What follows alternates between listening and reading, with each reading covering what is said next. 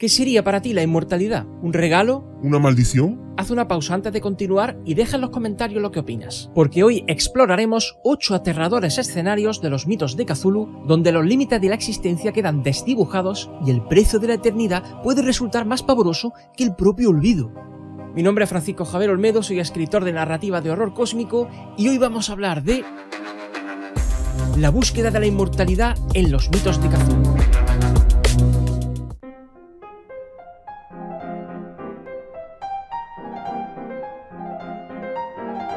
Desde tiempos inmemoriales, la humanidad ha escrutado el oscuro firmamento de la noche anhelando la longevidad atribuida a sus innumerables estrellas. Y la literatura se halla plagada de una multitud de ejemplos de este ardiente deseo del corazón humano. Encontraríamos una clara muestra en el antiguo poema épico La epopeya de Gilgamesh, escrito hace más de 4.000 años, donde se narra la travesía del rey Gilgamesh en su desesperada búsqueda por encontrar la vida eterna. Un relato ancestral que muestra cómo la idea de la inmortalidad ha perdurado a lo largo de los siglos, trascendiendo culturas y fronteras. Y qué decir de la legendaria fuente de la juventud, que curaba cualquier dolencia y devolvía la lozanía a quien quiera que bebiera sus aguas o se bañara en ellas, y que fue mencionada por primera vez en el tercer libro de las historias de Heródoto en el siglo IV a.C., e incluso en el propio Evangelio de San Juan, cuando se hace alusión a las curaciones del estanque de Y si nos centramos por un momento en el romanticismo gótico, apaga y vámonos. Porque qué decir de la afamada obra de Bram Stoker, Drácula, donde el antagonista bebe la sangre de sus víctimas con la esperanza de prolongar su existencia de manera indefinida. ¿Y qué me contáis del monstruo de Frankenstein, de Mary Shelley, donde se aborda la idea de la creación de vida eterna a través de la ciencia?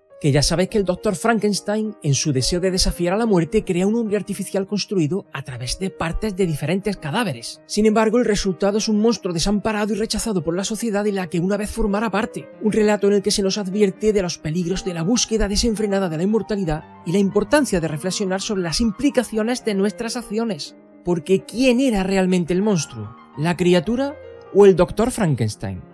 Y no podría terminar esta numeración sin mencionar el retrato de Dorian Gray, de Oscar Wilde, una obra que plantea preguntas sobre el precio que uno está dispuesto a pagar por la inmortalidad y la eterna juventud, donde el protagonista logra trasladar la decrepitud de la enfermedad y la decadencia de la vejez a un cuadro que alberga la imagen de su retrato, mientras él mantiene su belleza y juventud intactas. Porque vale la pena preservar la belleza física y la fortaleza a costa de la decadencia moral? ¿Resultó un intercambio justo la eterna juventud a cambio de la degradación de tu propia alma y la negación de tu misma humanidad? La degradación personal a cambio de la longevidad. La inexorable transformación a consecuencia de ella. La eternidad de las estrellas al alcance de nuestra ambición. ¿Acaso no resulta un perfecto caldo de cultivo para el horror cósmico, tanto desde el punto de vista científico como del esotérico?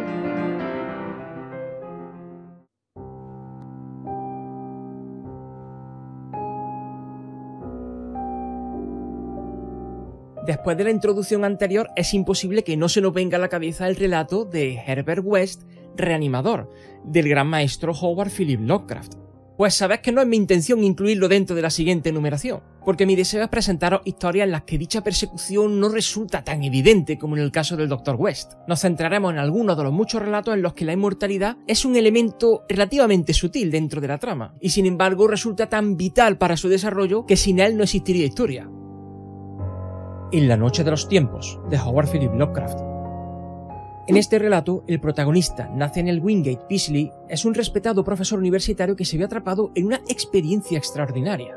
Durante un extraño episodio de amnesia, Peasley parece haber perdido cinco años de su vida y despierta con una nueva perspectiva y conocimientos que no puede explicar. A medida que investiga el misterio detrás de su amnesia, Peasley descubre la existencia de una antigua y poderosa raza conocida como los Gicianos, unos seres con una tecnología tan avanzadísima que les permite intercambiar sus mentes con criaturas de otras épocas y lugares, explorando de este modo la vastedad no solo del espacio, sino también del tiempo. Gradualmente el protagonista se da cuenta de que su conciencia ha sido intercambiada con la de un giciano de una era remota. A través de su conexión con esta antigua raza, ha tenido acceso a conocimiento y experiencia que trasciende la comprensión humana, porque ha presenciado la historia de la Tierra desde innumerables perspectivas y ha adquirido una comprensión única de los secretos cósmicos. Sin embargo, a medida que Peasley lucha por reconciliar su vida pasada con los recuerdos recién adquiridos de los gicianos, también descubre una oscura realidad Y es que la gran raza de Yith se enfrenta a una amenaza imparable que en un determinado momento acabará extinguiéndola. Por lo que estos fascinantes seres decidieron usar las autopistas del tiempo para migrar sus conciencias desde una forma de vida a otra a lo largo de toda la eternidad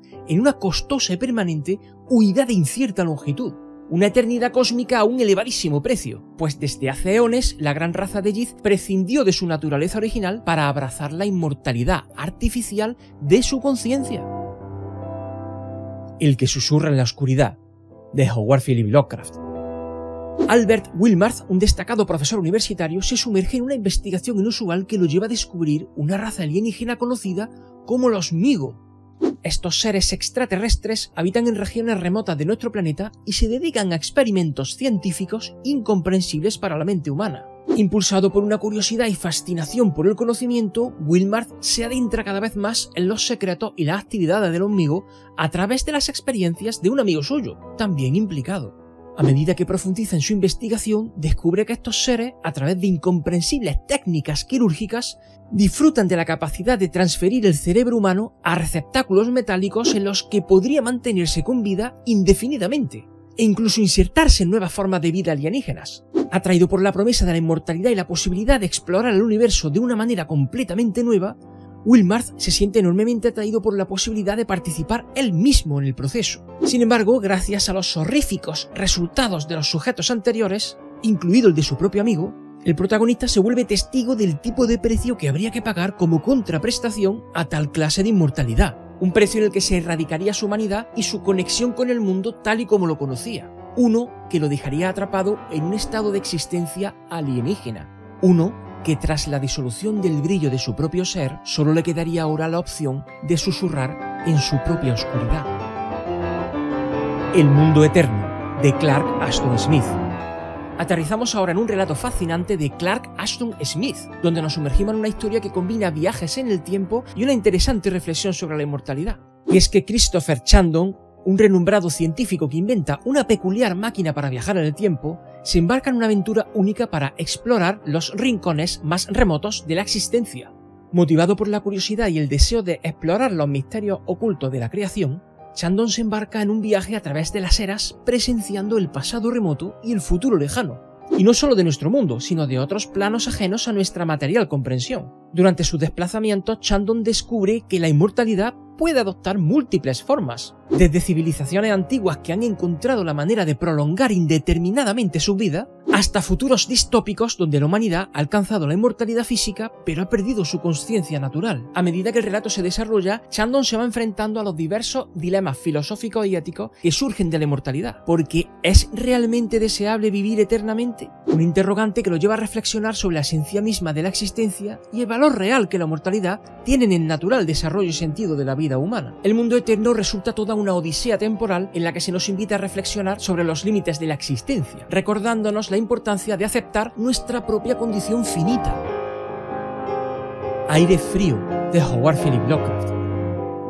En este relato, el narrador cuenta su inesperado encuentro con un extraño doctor que vive aislado del mundo en un sombrío apartamento de su mismo edificio. El científico es conocido por el resto de sus vecinos por mantener siempre el ambiente de su habitación extremadamente frío, especialmente en los días más calurosos del verano. Es por esto que el protagonista se siente enormemente intrigado por este misterioso individuo, así que se propone visitarlo con regularidad.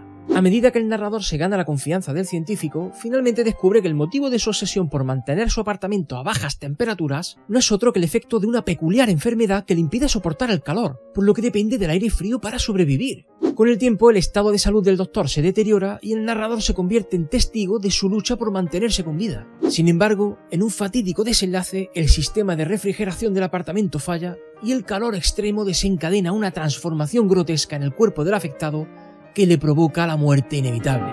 ¿Que le provoca la muerte? Sin esperarlo, el protagonista descubre con horror una carta en la que el doctor confiesa que ya estaba muerto desde hacía más de 18 años. El frío extremo resultaba su única conexión con la existencia terrenal, aferrándose a la vida mediante una extraña combinación de refrigeración y fuerza de voluntad. Lovecraft nos sumerge con este relato en la angustia y la desesperación del Doctor, explorando los límites de la inmortalidad y la obsesión humana por evitar el destino final, transportándonos con su prosa envolvente a un mundo donde el frío se convierte en un vínculo frágil entre la vida y la muerte, y donde la búsqueda de la inmortalidad se entrelaza con el terror más profundo.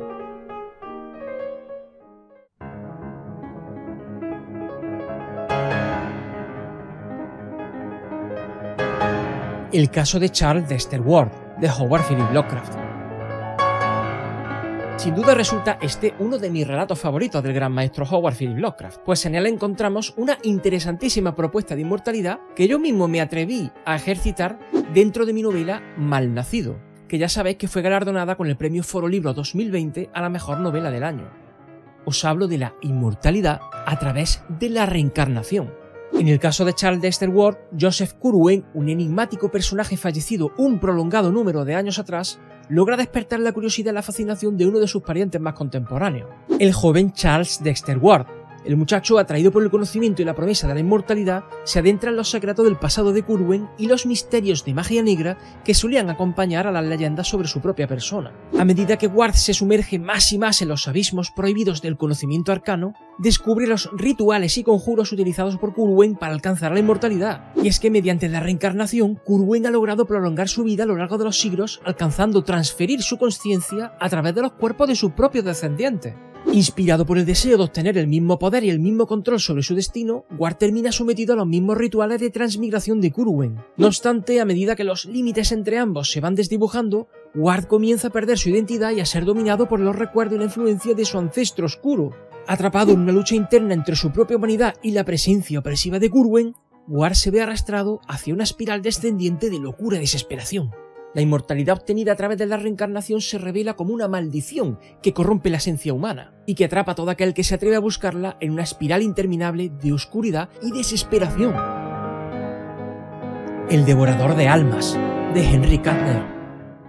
En este relato a caballo entre la fantasía y el horror cósmico nos adentramos en un oscuro y misterioso mundo donde el protagonista, el Sindara, una suerte de rey sumo sacerdote de un imperio categorizado como no humano, se encuentra atrapado en una encrucijada en la que termina siendo usado por una antigua y aterradora deidad llamada Bórbados, la cual pretende acabar con un enemigo común al que denominan el Devorador de Almas. En su deseo de cumplir con los designios de la deidad a la que venera, el Sindara se somete a rituales siniestros y sacrifica su humanidad en busca del favor de Bórbados.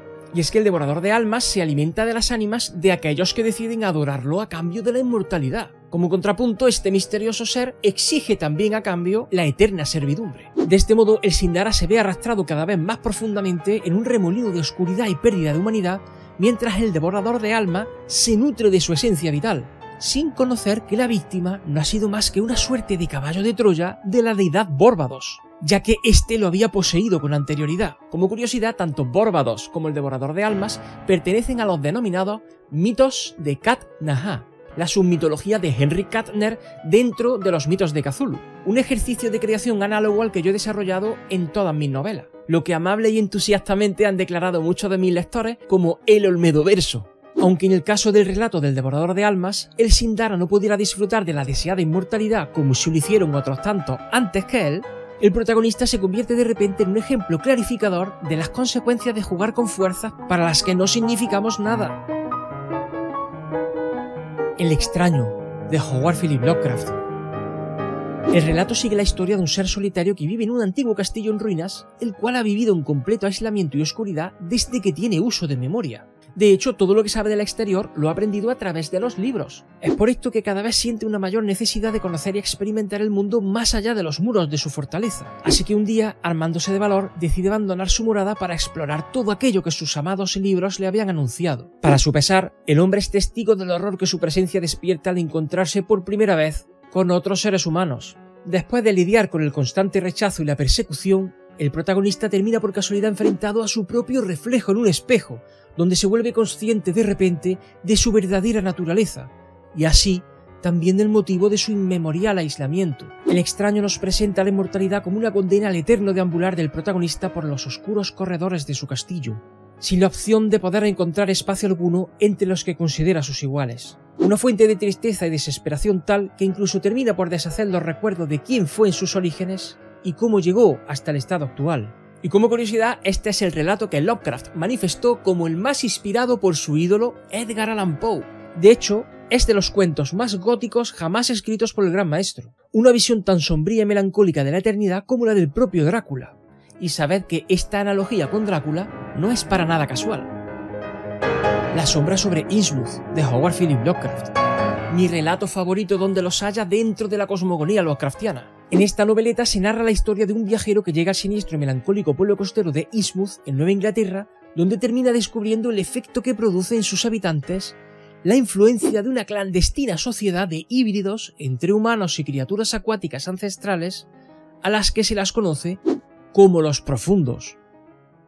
El protagonista comienza a sospechar que los residentes de Innsmouth han estado realizando rituales siniestros y se han mezclado con los profundos para lograr alcanzar la inmortalidad. Una inmortalidad a un precio terrible, porque al margen de la evidente transformación física del individuo, el convertido se vuelve en un títere de estas criaturas pelágicas, como una suerte de marioneta que queda a su servicio, un sangre sucia esclavizado. Y es aquí donde la inmortalidad torna en maldición, ya que terminas aplastado entre el peso de dos mundos, el de los humanos, al que ya no perteneces, y el de los profundos, a quienes sirves en cuerpo y alma.